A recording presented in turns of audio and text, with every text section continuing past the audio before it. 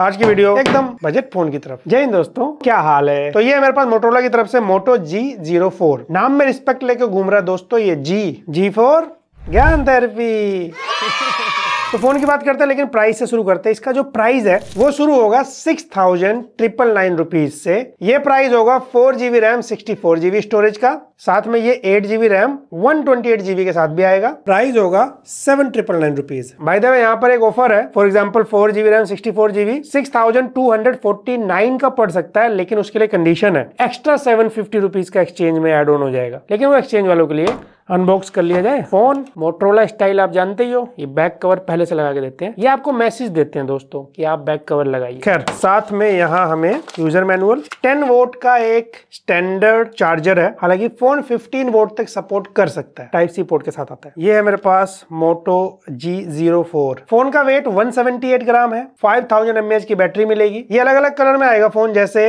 ये है आपका सी ग्रीन ये है सेटिन ब्लू और ये है sunrise orange and to be honest price के हिसाब से जो फ़ोन का डिज़ाइन है, वो काफ़ी अट्रेक्टिव लग रहा है। वो मैट फिनिश के साथ आते हैं जो कैमरा डिज़ाइन वगैरह, मुझे अच्छा लगा। आपको कैसा लगा कमेंट बताना। इनफैक्ट फ्रंट में भी पंचोल दिया हुआ है, अभी डिस्प्ले की बात करेंगे। तो इसलिए मुझे डिज़ाइन अच्छा लगा। खैर, बात करें अगर फ़ोन की। सबसे पहले ऊपर यहाँ पे 3.5 पॉइंट जैक है। सेकेंडरी नॉइस कैंसिलेशन माइक नहीं दिया हुआ है। वैसे इस रेट में काफ़ी फ़ोन में नहीं होता। लेकिन लेफ़्ट साइड में यहाँ पे ट्रिपल स्लोट है। तो दो सिम एक मेमोरी कार्ड और नीचे की तरफ़ यहाँ पे सिंगल स्पीकर है नॉर्मल क्वालिटी ठीक है। और डोल्बी एटमोस का सपोर्ट भी है। राइट साइड यहाँ पे वॉल्यूम बटन के साथ पावर बटन में फ़िज़िकल फिंगरप्रिंट स्कैनर भी दे रखा है। जिसकी स्पीड मैंने टैप किया, ये अनलॉक ये टैप, ये अनलॉक फिर से एक बार ट्राई करते हैं, टैप अनलॉक बाकी कुछ ज़रूरी बातें जैसे डुअल बैंड वाईफाई मिल जाएगा एफएम रेडियो दिया हुआ है, आपको ईयरफोन लगाना पड़ेगा। 4G प्लस आपको नहीं मिलेगा, इस रेट में वैसे मिलता भी नहीं है, लेकिन वोल्टी 4G शो कर रहा है और ये एक 4G फ़ोन है 5G फ़ोन नहीं है ये, वो काफ़ी बजट में भी है तो अभी ये अगर सात आठ हज़ार रुपए से नीचे 4G फ़ोन लिया जा सकता है। इससे ऊपर अगर आप जाते हैं तो भाई 5G फ़ोन देखना चाहिए। और मैंने सेंसर चेक किया तो यहाँ पे जायरो कंपास नहीं मिलता, लेकिन एक्सलोमीटर लाइट प्रोक्सीमिटी सेंसर मिलता है तो यहाँ पे थोड़ी कॉस्ट कटिंग की गई है, बाकी ऑटो ब्राइटनेस वगैरह मिल जाएगा। और साथ में ये फ़ोन आईपी फिफ्टी टू के साथ आता है। और सेम टाइम अगर बात करें जो डिस्प्ले है, ये मुझे अच्छा लगा कि बजट प्राइस है बट यहाँ पर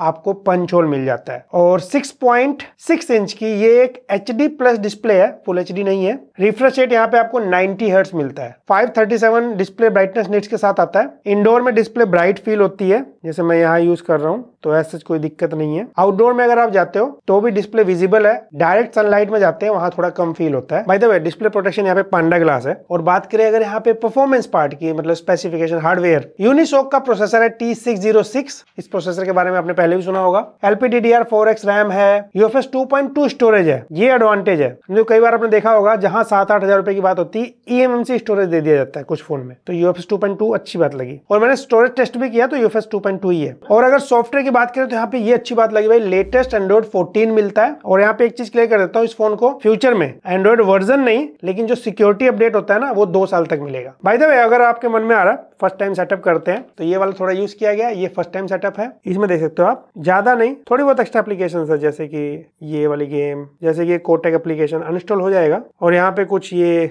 शॉपिंग फोल्डर एंटरटेनमेंट फोल्डर बन जाते हैं। आप इनको ना मत इंस्टॉल करिएगा और यहाँ से रिमूव कर दीजिएगा। मैंने अंतुतु भी वैसे चेक कर लिया था। टू लैख 64,000 स्कोर आता है। तो यूएफएस 2.2 के कॉम्बिनेशन के साथ आपका phone day to day life में आपके काम करने के लिए कैपेबल है। बाकी यहाँ गूगल डायलर मिलता है तो आप कॉल रिकॉर्डिंग करेंगे सामने वाले को मैसेज जाता है। हालाँकि आप सेटिंग में जाके बीप वाला ऑप्शन ऑन कर सकते हैं। सभी गूगल डायलर में अब आ गया पहले नहीं था। और उसके बाद अगर बात करें कैमरा डिपार्टमेंट की तो यहाँ पर आपको दो कैमरे दिख रहे हैं बट एक्चुअल में एक कैमरा एक फ्लैश है। 16 मेगापिक्सल का मेन कैमरा है 5 मेगापिक्सल की सेल्फी है। 1080p 30 fps तक आप वीडियो शूट कर सकते हो। और सेल्फी में भी आपको 1080p वीडियो शूट कर सकते हैं, ये पार्ट मैं इसलिए शूट कर रहा हूँ ताकि आपको ऑडियो का अंदाज़ा लग जाए। बिकॉज़ आप इस रेट में हाई क्वालिटी वीडियो नहीं, लेकिन आप व्हाट्सएप कॉलिंग करेंगे, किसी से बात करेंगे वीडियो कॉल करेंगे माइक क्वालिटी का अंदाज़ा लगना ज़रूरी है। इससे मैंने कुछ फ़ोटोज़ क्लिक करी है अलग अलग लाइट कंडीशन में, ये आप देख सकते हो। याद रखिएगा, जिस प्राइस पॉइंट पे आता है इस प्राइस पॉइंट में आपको ठीक ठाक फ़ोटोज़ निकाल के दे देगा। फ़ोटोज़ थोड़ी कॉन्ट्रास्ट साइड है, बाकी आप इस रेट में